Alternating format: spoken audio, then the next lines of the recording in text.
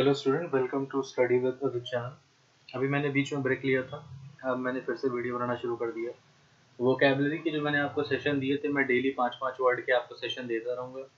तो आज एक नया सेशन लेकर आया हूँ वो कैबलरी का। ध्यान से देखना, फ़ायदा होगा तुमको। चलो, सबसे पहला वर्ड है मेरे पास बोर्डे बोर्ड का मतलब होता है भविष्य बोर्डे नहीं होता बोर्ड होता है। भविष्य कथन। To indicate something such as future event अगर आपको कोई भविष्य की चीज़ बतानी है तो आप वर्ड क्या यूज़ करोगे? बोर्ड ठीक है? अब इसको याद कैसे करेंगे? बोर्ड में एक साउंड आ रहा है बुद्धा का।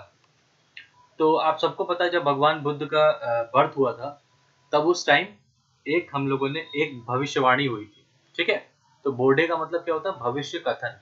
To indicate something such as future event The poor sales do not bode favorably for the success of, of the new store. Next. Next हमारे पास एक वर्ड है meed M double E D इसका मतलब होता है पुरस्कार अ मच डिजर्व्ड रिवॉर्ड और ऑनर ठीक है? तो यूसेज आप लोग देख ही रहे हो। इसको याद कैसे करेंगे? उम्मीद. मुझे उम्मीद है कि मुझे पुरस्कार मिलेगा। ठीक है? मुझे उम्मीद है कि मुझे पुरस्कार मिलेगा। पीछे जो बोर्डे था, अब से याद करते वक्त पीछे पीछे वर्ड को भी रिवाइज कर दे रहा था बोर्डे का मतलब क्या था? जब बुद्ध बॉर्न हुए थे, तब भविष्यवाणी हुई थी तो जो जो भी भविष्य की बात होती है, उसको बोर्ड के लिए यूज़ करते लल। लल का मतलब होता है शांत करना, ठीक है? Make someone feel deceptively secure और कॉन्फिडेंट ठीक है? तो डिसेप्टिवली सिक्योर मतलब वो सिक्योर है नहीं, लेकिन उसको फील करवाना कि तुम सिक्योर हो कॉन्फिडेंट रखना उसको, शांत करना। तो लल्ला लल्ला लोरी सुना तुम लोगों ने? तो लोरी सुनाते वक्त क्या होता है? शांत करते हैं, बच्चे को शांत करते हैं। तो लल को ऐसे याद रख सकते हो, याद करने का तरीका होता है। नेक्स्ट वर्ड है प्लंक प्लंग का मतलब होता है लापरवाही से नीचे रखना, किसी चीज़ को लापरवाही से नीचे रखना। To put something down heavily and carelessly ठीक है? इसका नेमोनिक तुम खुद बनाना।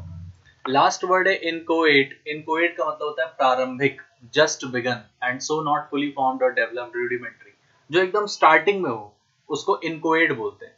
इसको याद कैसे करेंगे? इंच इन लेंथ देखो यहाँ पर। इंच इन लेंथ मतलब अभी इंच है इंच भर है। अगर इंच भर है मतलब वो अभी अभी स्टार्ट हुआ है। तो इनकोएट का मतलब होता है प्रारंभिक मीन्स जो अभी अभी शुरू हुआ है just begun so not fully form develop इसको याद करने का तरीका क्या है? इंच इन लेंथ जो अभी छोटा है इंच बहुत इंच भर है। इंच भर है मतलब बहुत छोटा है, ठीक है? तो आई होप आप लोग को ये सेशन पसंद आया होगा।